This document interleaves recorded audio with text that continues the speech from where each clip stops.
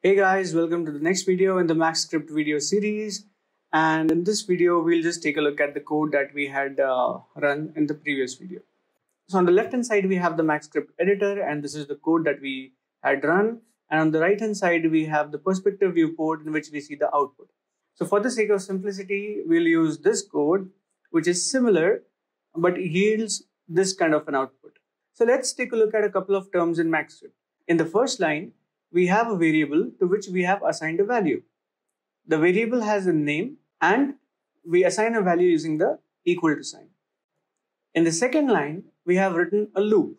This loop goes from 1 to 5, which means it will run a specific piece of code about 5 times. The code that we need to run a specific number of times is encapsulated within round brackets. That's why we open up the round brackets in the third line and we close the round brackets in the 10th line and lines 4 to 9 are the code which will be run about 5 times. In line number 4, we change the value of the variable by incrementing it once each time the loop runs. That means the first time the loop runs, the counter will be 1 and the fifth time the loop runs, the counter will be 5. In the fifth line, we are creating another variable called TP and we are assigning it a value which is returned by a function called teapot. Now this is a function or you can call it a constructor function. This teapot is defined by 3D Studio Max. This basically is a class and when we run the constructor function of a class, it returns an object.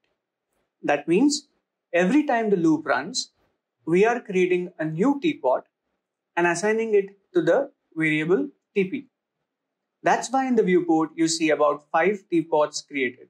The object of a specific class will have a couple of properties which are defined in the class itself. tp.name is the name property and we are assigning the name as teapot underscore and appending the counter as a string. Because the type of the counter variable is a number or an integer, we need to convert it to a string.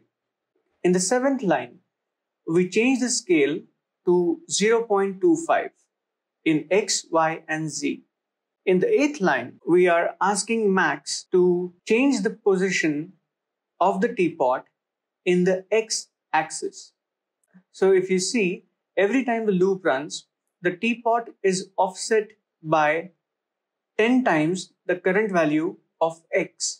So the first teapot will be at position 10 in x-axis and the fifth teapot will be at position 50 in the x-axis. In the ninth line, we are changing the wire color of the teapot. The type of the wire color is a color and we define it by using the keyword color and providing the R, G, and B values. So if you see every time a teapot is created, we are changing the red color to be a multiple of 50. That means the first time the loop is run, red color will be 50. And the fifth time the loop is run, the red color will be 250. These color values go from 0 to 255. So the next thing that we'll take a look at is a function. If you would like to run a piece of code multiple times, you can group it. A group of these lines of code can be called as function.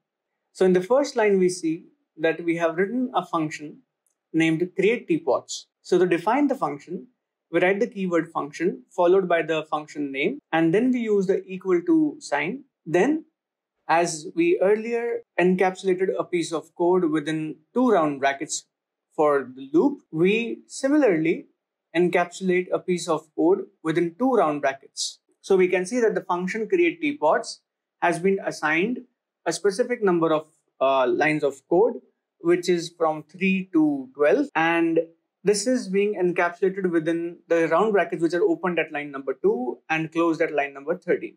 So instead of writing this code again and again, we just have to evaluate this function once and then whenever we want to create these teapots, we can just run the create teapots function followed by the round brackets and it'll give you the output which you see in the perspective viewport. So that is it for the video guys and thank you so much for watching.